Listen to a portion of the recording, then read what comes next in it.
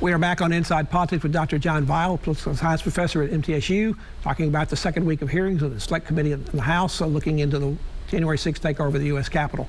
Uh, Dr. Vile, before the committee met uh, later this week on Wednesday, the committee issued a, a video that uh, confirmed what some people had said earlier that there had been at least one congressman who took some people who later engaged in the demonstrations and the takeover of the Capitol through the Capitol for tours, even though the Capitol itself on January in January of 2021 was closed. They took pictures of some strange things. They took pictures of hallways, of uh, staircases, and even of security checkpoints. Uh, the Republicans are going to have some explaining to do about this, as well as those who apparently are going to be disclosed later by the committee through their investigation. That many Republicans actually asked the White House for pardons well, I think I don't know about the first. I think the jury is still out. Uh, I've seen conflicting uh, explanations, including explanations from the Capitol Police. Uh, if in fact, you know, I, I would, I, guess I would hope that if this were happening, that the congressman was simply naive and did not, you know, thought these people were particularly interested in Congress rather than burning the place down.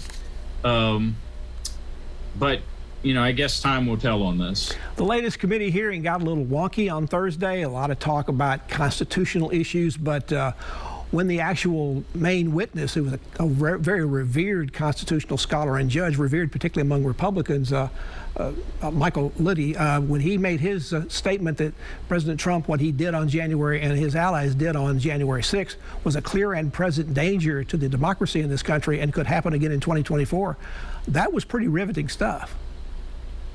It is, and again, you know, the primary just the, the power to, of Congress, congressional investigation is not actually listed in the Constitution, but a number of Supreme Court decisions have affirmed that that that power is consistent with the ability to make future legislation. And some of the things that are being discussed is that you know the the wording of the laws regarding what the vice president's responsibility is you know, perhaps needs to be spelled out more clearly. It's never been an issue before, but if you know, as as witnessed, you know, think back to 1961, where Richard Nixon had to affirm that John F. Kennedy was the new president, or 2001, where Al Gore had to affirm that George Bush was the president.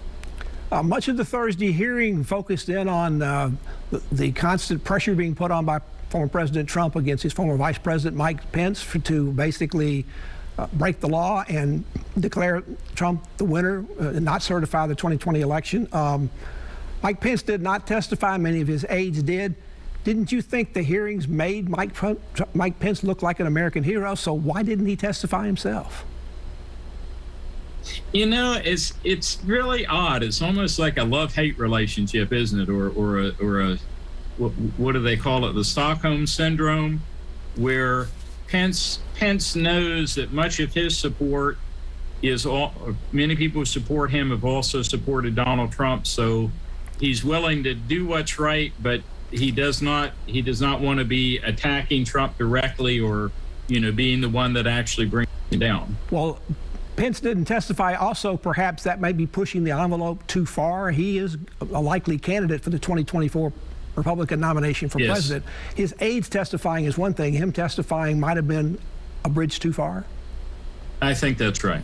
Um, so, um, what do Republican leaders do to limit all this this damage that's coming out, not just for Donald Trump, but for themselves? Many of them have been uh, very supportive of the president despite all these charges. Are they going to continue to double down on this, or are you going to see more people moving away and giving more distance away from President Trump? Well, unfortunately, and I think the same is true of Democratic politicians as well as Republicans, but they're much better at following public opinion than they are at leading it. If public, you know, if public opinion turns against Trump, uh, they'll be the first to go along. If it doesn't, they'll continue to try to straddle the fence. It's not clear exactly how this is going to work into the investigation, but it appears the wife of Supreme Court Justice Clarence Thomas, Ginni Thomas, is going to testify before the committee. Uh, she's continued to be implicated in talking with many of the people that were involved about trying to overturn the election. Supreme Court's got a lot of controversy and many controversial decisions coming out in the next couple of weeks. Is this what the nation's highest court needs to be wading into yet more controversies? No, it certainly doesn't. Um, you know, Thomas, to some extent, could could limit the extent of this damage by simply recusing himself from any cases that involve, you know, this election.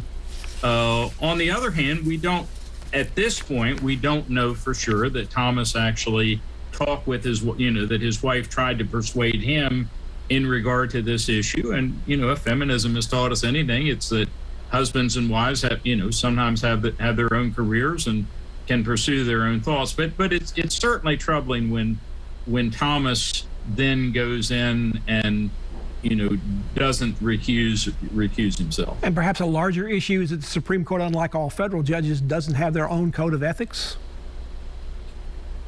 Well, I mean, that, I think that's right. I mean, there's sort of it's it's a suggestion. that There's nobody going to call them to account, you know, unless they commit commit an impeachable offense, and I'm not sure I, I, don't think that Thomas has crossed that line. Briefly, in closing, are you concerned that the democracy of this country is at stake, particularly as we look towards the 2024 election, that what we had happen in January 6, 2021 could happen again in 2025? I am, and you know, it goes beyond the Constitution.